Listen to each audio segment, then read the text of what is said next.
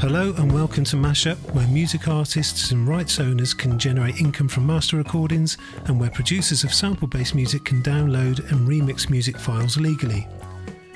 New users to mashupaudio.com should click on Login and from that window select Sign Up. To set up, enter a name, email address, phone number, and password to motivate a standard email based authentication procedure. Next, a new user wishing to upload a song should click on Create and provide details of the song title, the artist, the genre for search purposes, and then upload an image for cover artwork before clicking Save.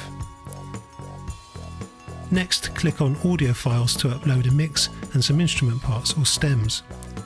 These can either be navigated to or, as I'm doing here, just be dragged into the drop zone window. Click and upload will then import the tracks, with audio files being securely encrypted from this point up until the completion of a purchase.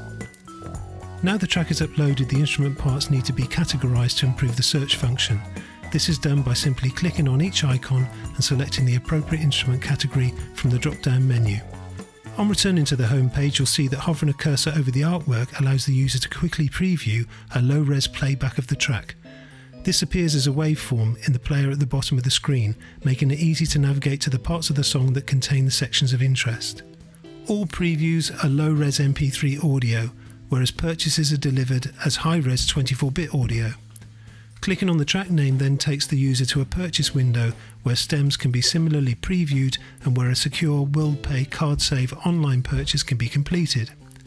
Our aim is for 50% of each £1 download to go to the rights owner, although this is subject to affordability and we may review this in the future.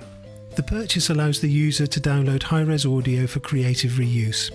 Should the user then wish to release the sample based track commercially, they'll need to contact the rights owner to negotiate a deal or royalty percentage agreement. This can all be done via Mashup. Please contact us via info at mashupaudio.com if you'd like to know more, or just visit mashupaudio.com and make some great music.